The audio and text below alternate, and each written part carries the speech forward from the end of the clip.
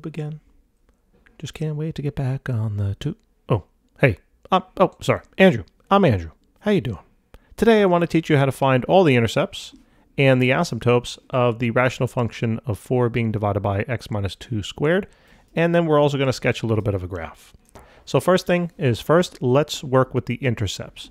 So when you want to find the x-intercept, what you want to do is you want to set your y value or the function's value equal to 0. Okay, so let's just write this out. So y is equal to 4 then divided by x minus 2 squared. And what you're going to do is you're going to uh, just basically set y equal to 0. So you're going to erase that, plug it into 0, and solve this now for x. Okay? So the problem is, though, when you do this, you cross multiply and it works out to be 0 is equal to 4. And then it's like, huh? What? Wait a minute, who? That doesn't make any sense. So guess what that means? That means you don't have an x-intercept, okay? You follow this method, and if it doesn't make sense, if it just doesn't work, actually, I'm to erase that function. If it just doesn't work, there is no x-intercept, if it doesn't make any sense, okay? No, I'm just going to write none. None.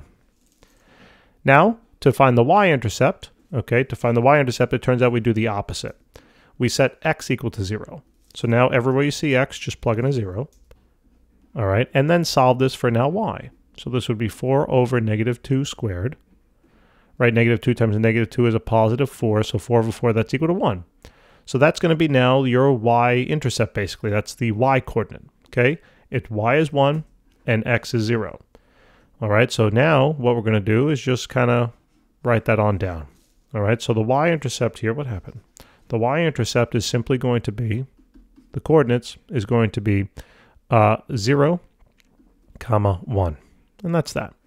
Next, we look at the asymptotes. So we have our vertical and horizontal asymptote. So let's first work with the vertical asymptote. So what you want to do is you want to make sure that your function is fully factored, okay, uh, which it is, and you want to cancel any factors in the numerator and the denominator if possible first. All right, in this case, there's nothing to cancel, uh, so we just go right to it. After you cancel anything that's appropriate, what you do is you take that denominator, x minus 2, and you set it equal to 0, okay? Set it equal to 0, and what you're going to do is you're going to solve this for x. And once we have this set equal to 0, all we're going to do is solve, so we can take the square root of both sides, so that's basically to be x minus 2 equals now 0, and technically you would have kind of a positive negative 0, but since it's 0, it really doesn't matter, right? Positive negative 0, the same thing. So all you're going to do is solving this for x is add 2 to both sides, and x is going to be equal to 2. Now that is the equation now of your vertical asymptote. It's that straightforward, okay? So that's all you have to do. So your horizontal asymptote, your vertical asymptote here is x is equal to 2. Now the next part is to deal with the horizontal asymptote or your slant asymptote. Now it depends on what the function looks like, all right? What you have to do is you have to determine whether it's something known as top heavy, equally heavy, is that even how you, I don't even know what kind of word, equal, equally, something like that, and bottom, bottom heavy, okay? If it's a top heavy function, you're gonna have a slant asymptote. It's an, if it's an equally heavy or a bottom heavy, you're gonna have a horizontal asymptote, okay? So what do we mean by top, equal, and bottom? Well, basically when we look at the function, wherever, whichever side, the numerator or the denominator, have the highest power of x, that's how we that's what we would consider top heavy and bottom heavy. For example, there is no x in the numerator, so x really has a value of 0 as its exponent. And in the denominator, x has a power of 1. So this is a bottom heavy. The bottom's bigger than the top. All right. Um, and then if this if this was like 4x, then I would say it's equally heavy, more or less. And uh, actually, oops, I made a little bit of a silly mistake, actually, now that I think about it. Sorry about that. What I meant to say was um, you would really want to, the, the highest power of x in the denominator is actually squared because you have this factor being squared. So really, if you were to FOIL this out, it would be x squared minus 4x plus 4. So the highest power of x in the denominator is technically a 2.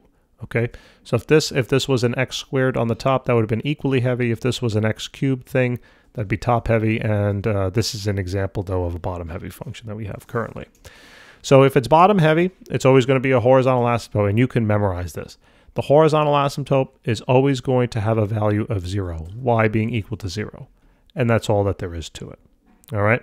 Now that we have everything, all these pieces, we can finally graph this thing. All right, so let's set up a, a set of axes. So I'll set this up over here and here. First thing I'll do is I'll graph uh, the x-intercept. Well, there's none, so I don't have to worry about that. And the y-intercept of oh, uh, 0, comma 1. So 0 comma 1 will be right here. Next thing I do then is I'm going to plug in my vertical asymptote at x is equal to 2. So I just draw a little line at x equals 2, and I'm going to dash it. Okay, we'll just dash this a little bit, just so it's not confused with the axes overall. And then I have a horizontal asymptote, another one, uh, another asymptote at equals 0. That one I'm going to leave just alone. So from here, I definitely know since I have a point, and the way I'm looking at this now is I'm looking at it um, from the uh, asymptote perspective. In other words, I have one quadrant over here, I have another quadrant over here, I have another quadrant over here, and I have another quadrant over here. And basically what's going to happen is you're going to have a function in one of in two of those four quadrants. Since I have a point already in this quadrant up in here, I know I'm going to have part of the function in that location.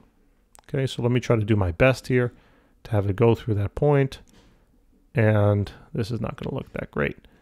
Yeah, that's not going to look that good. Let me try that one more time, ladies and gentlemen.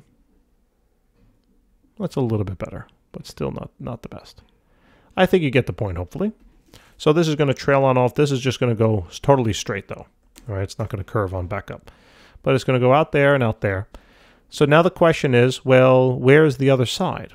So what you can start to do is what might be the easiest thing is you want to start to pick like easy values and you plug them on into the function and see what happens. Like for example, for example, if my x value, so let's see what happens. If I go one, two, three, okay, let's say I have an x value equal to three. My question is, well, what in the world would the y value be? Well, you can simply now check with the function. All you have to do is take 3 and plug it in here for x. So it's 3 minus 2. What's a 1? 1 squared is going to be 1. And 4 divided by 1 is a 4, a positive 4. So what that means is that when you plugged in 3 into this function, you realize that you had a coordinate of 3 comma 4. And that would be located on your graph now in this place. 1, 2, 3, 1, 2, 3, 4. And now that's how I determine where the other side is. Okay, it's going to be one of the two of those four quadrants. So I know I'm going to have a graph up in here now. Okay, or the function will live up in that quadrant. So let's see if that's hopefully what it looks like. so let's go to the calculator and plug it in. All right, so x minus 2. Please, I hope this works. Please.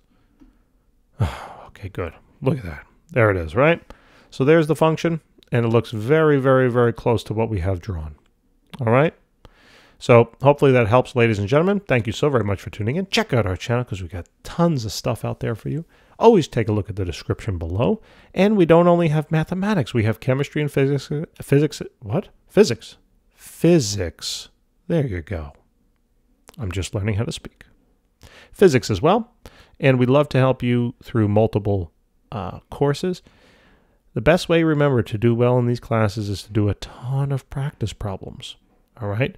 And that's kind of what our channel is dedicated to giving you a ton of practice. Okay. And with video solutions and coaching along the way. Check us out. I think you'll be happy. Take care.